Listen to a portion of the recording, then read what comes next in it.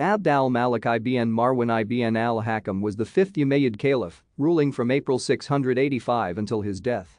A member of the first generation of born Muslims, his early life in Medina was occupied with pious pursuits. He held administrative and military posts under Caliph Mu'awiya I, founder of the Umayyad Caliphate, and his own father, Caliph Marwan I. By the time of Abd al-Malik's accession, Umayyad authority had collapsed across the caliphate as a result of the Second Muslim Civil War and had been reconstituted in Syria and Egypt during his father's reign. Following a failed invasion of Iraq in 686, Abd al-Malik focused on securing Syria before making further attempts to conquer the greater part of the caliphate from his principal rival, the Mecca-based Caliph Abdallah ibn al-Zubair.